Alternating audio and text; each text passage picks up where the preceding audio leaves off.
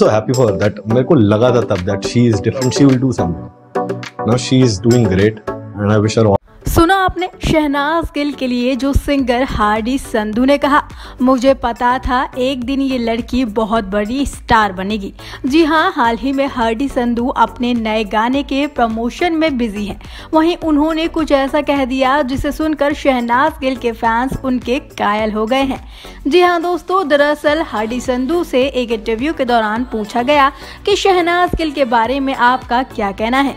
तो हार्डी संधू ने इस पर कहा तो मैं जब उनसे मिला था ना तो आई डोंट नो आपको सबको फील होता है कि नहीं? You can feel that there is some some charm something in you that you will go somewhere you will do something I am so happy for that मेरे को लगा था तब that she is different she will do something now she is doing great and I wish her all the luck for the film for और हार्डी संधू की बात सुनकर शहनाज गिल के फ़ैन उनको लेकर बेहद प्राउड फील कर रहे हैं और शहनाज गिल की जमकर तारीफ़ कर रहे हैं।